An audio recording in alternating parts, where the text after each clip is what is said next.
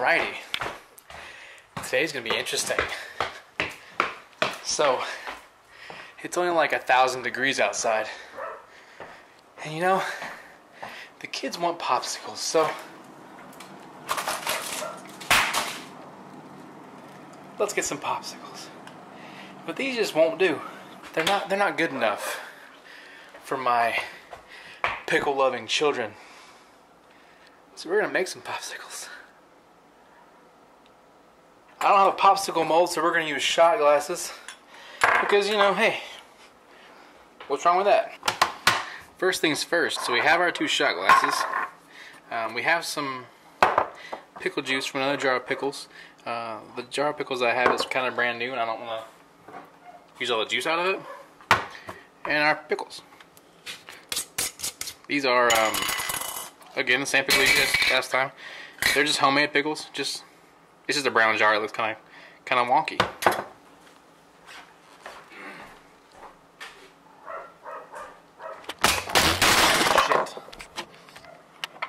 So we take our jar of pickles. I'm to take, uh, I don't know, this is my jar of pickles, so I can stick my fingers in if I want to. That's mine. Mmm. Alright. Mmm. Get some pickles out of there. Come on, camera, focus. Thank you. Alright. All we're gonna do, you can use a food processor, but, you know, for the sake of a video, I don't want to make too much noise, so we'll just chop these a little bit. Nothing too fine, you know, you want to have a, a, chunk in there so you have something to nibble at. Alright. And there's your, uh, your pickle bits. Sound good? Sounds good. Alright, cool. So we're to take and load these. If you're using an actual popsicle mold, I'd say fill it all the way top. Or however much pickle you want in it. You know. I like pickle. It's going all the way in. Look at that. Mmm.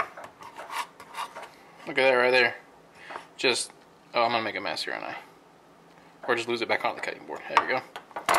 Uh, go ahead and grab that little bit there. Bam!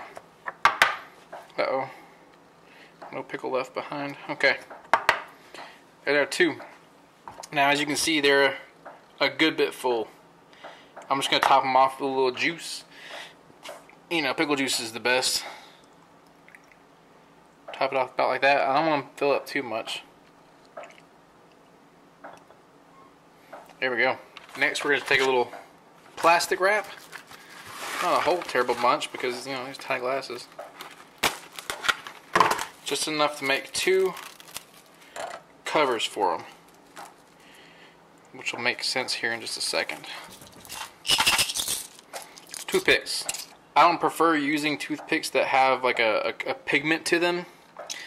The issue being is that whenever you put these toothpicks into a liquid, it tends to transfer the color into whatever you're, you're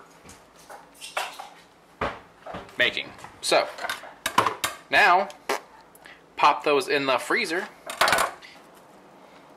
These two little bad boys right here. Oh, uh-oh. Just pretend that we don't have a whole basket of popsicles or, or Mickey Mouse ice cream.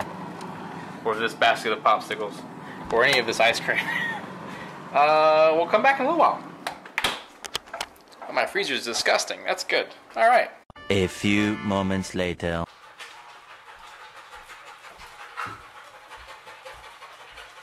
Well, it's the next day because apparently pickle popsicles don't freeze as fast as I thought they would. So, uh,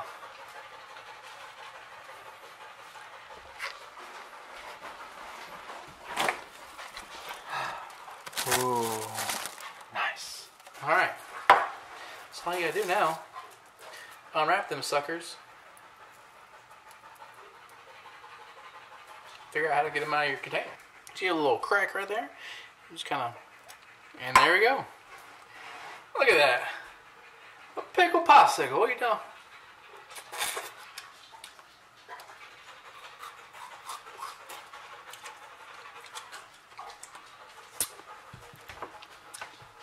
the little chunks of pickle in there.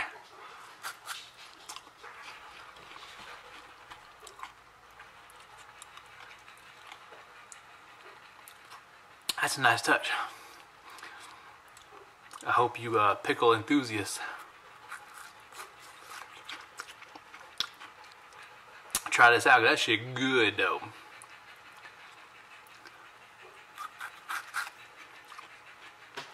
All right. Get my pickle popsicle. I'll see y'all later.